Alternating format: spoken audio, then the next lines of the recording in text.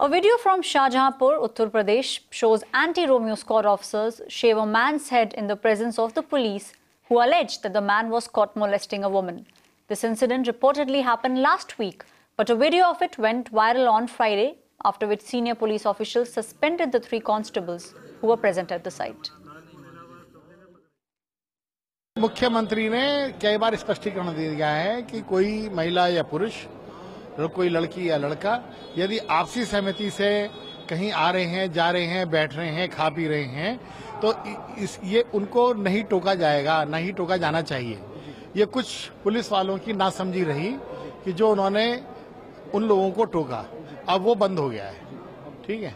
लेकिन anti Romeo के बनने के बाद आप उत्तर प्रदेश की महिलाओं से पूछिए कि वो सिर उठा करके चलती हैं, उनके मन से, उनके मन से सब डर खत्म हो गया है।